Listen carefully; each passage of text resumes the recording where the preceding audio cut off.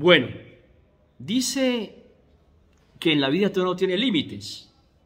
Yo no sé si para Rafael Dudamel, para el técnico del Deportivo Cali, ya el límite tocó. Ya el Cali tocó fondo más de lo que debía y estará pensando, así como confirmó después del clásico que había pensado en irse, eh, no sé si ahora pensará igual después de una derrota también vergonzosa ante Bucaramanga, que para mí no es más que el Cali. Sigo pensando que Cali no tenía por qué tener un rendimiento tan vergonzoso en la liga. Y hoy, la vergüenza llega a tal nivel que Patriota fue a Ibagué y ganó, y ya el Cali es 19. Es decir, en lugar de mejorar y empezar a jugar matemática, es que matemática porque para mí está eliminado, ya yo lo doy por eliminado. Y repito, ojalá me tapen la boca y se no tapa de boca para todo feliz en el Valle del Cauca. En lugar de mejorar, cayó un puesto más. Y el puesto se lo quitó el flamante Patriotas luego de la derrota en Bucaramanga. A nombre de OneFootball, mi aplicación, descárgala ya, OneFootball. A nombre de Cementos San Marcos, del Valle del Cauca para Colombia. A nombre de Temporales Especializados y a nombre de Millennium Natural System, que garantiza un estado de salud notable, lo que se, se nota por fuera el tema salud con Millennium Natural System. El equipo de hoy, la novedad, doble 5. Congo Balanta. El tiempo nos dio la razón. Desde la fecha 2, casi cuando detectamos cuál era el problema del Cali, pedíamos a Congo. Pedíamos a Congo. Muchos decían, es que este es empresario de Congo, lo está publicitando, ¿qué? ¿Hace juego con los agentes? Fíjate que no. Era claro, era nomás haberle visto los partidos en Bogotá para saber que era un jugador que podía dar la mano. Y cumplió. Primera conclusión. Congo muy tarde, Dudamel confió en él. Mucho más en 45, en 90 minutos de hoy que Robles en año y medio con Deportivo Cali. Congo.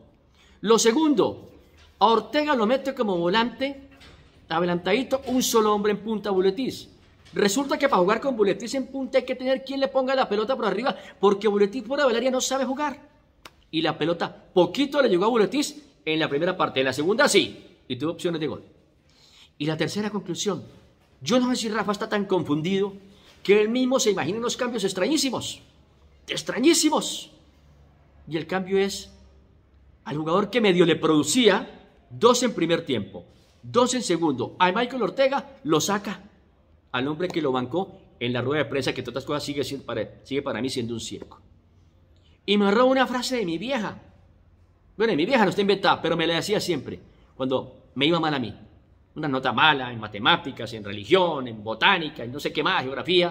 Me decía, mijito, por Dios, Carlos Arturo, cuando uno va de rabo para el estanco, no hay barranco que lo detenga. Y creo que lo del Cali está patentizado aquí hoy. Cali va de rabo para el estanco y no hay barranco que lo detenga, no hay quien lo detenga, lo pare. Hasta gol invalidado, gol anulado y bien anulado por un fuera de lugar muy, muy cerrado, pero fuera de lugar de Ángelo en el empate del Deportivo Cali. Ángelo no marca nunca y cuando marca uno se lo invalidan. Además, lo marcó a la fuerza, pues lo marcó, pero terminó el partido siendo victoria de Bucaramanga.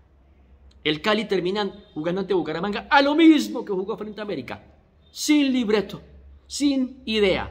Partitura embolatada, al desespero, al levante, levante, centro, centro, va y viene. Y ya uno ve el rostro de Dudamel, desencajado, mm, sometido, como quien dice, hermano, aquí ya no hay nada que hacer. Y yo no sé, repito, si va a pasar o está pasando en este momento, pero el Cali ha sido precario. Yo no sé si lo aguantan para decir que en la Copa Libertadores será otro decorado, pero cuando un equipo no reacciona, por más que los jugadores hablen y hablen y hablen y vayan a ruedas de prensa mil veces y, y respaldan a su técnico, lo de hoy en cancha, excepto lo de Ortega, no es respaldo para nada. Y también Dudamel ha sido muy terco realmente. Una vergüenza, una vez más, para la fanaticada del Deportivo Cali. Porque todos, ustedes y nosotros acá en los medios de comunicación, esperamos la reacción del Cali. Resulta que barranco de barranco de barranco y nadie lo detiene. Vergüenza del Cali. ¿Pasará algo? ¿Estará pasando? Esperemos. Un abrazo.